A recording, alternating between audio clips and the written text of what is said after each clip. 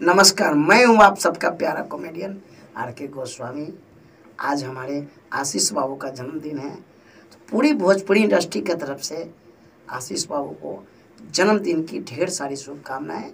आप स्वस्थ रहें, मस्त रहें और मम्मी पापा का आशीर्वाद हमेशा आप आप पे बने रहें। Love you